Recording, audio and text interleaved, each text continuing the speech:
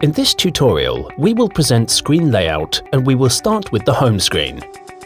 Layout of the screen will change depending on how you program and operate the pump unit. But when you switch on the pump for the first time, the home screen will be showing like this. This screen layout is available when the pump is operated using manual job file only. It's a read-only display for the current activated job file and will be displayed on every screen. The user can change the name of the job file, but we will talk about how to edit the job files in a different tutorial.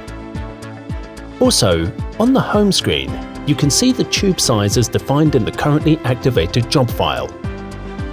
On the opposite side is the current time and date, which is a read-only display, and we will show you how to set them up in our settings tutorial.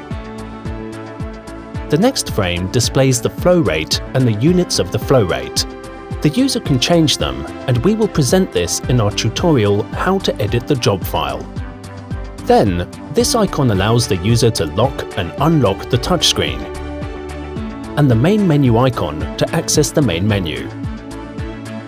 Increment-decrement arrow will increase or decrease the flow rate only in the manual job file. It can either be pressed once, which will increment or decrement the flow rate in steps, or held down, which will gradually increase or decrease the flow rate. It is a temporary change on the home screen and does not change the flow rate in the job file menu. The flow rate indicator displays the current flow rate as a percentage of the maximum available flow rate for the selected tube size. Pump status symbol displays the direction of rotation and RPM if the pump is running. In manual job file only, the direction of rotation can be changed by touching the symbol on the home screen.